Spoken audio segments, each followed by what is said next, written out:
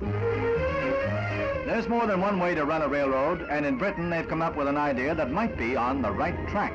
A flat car has been modified so that the car wheels drive rollers that in turn power a chain drive to the railroad wheels.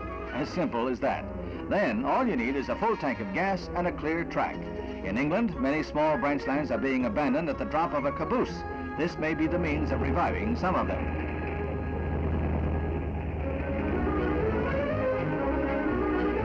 After giving this some thought, we were just wondering, suppose you get a flat.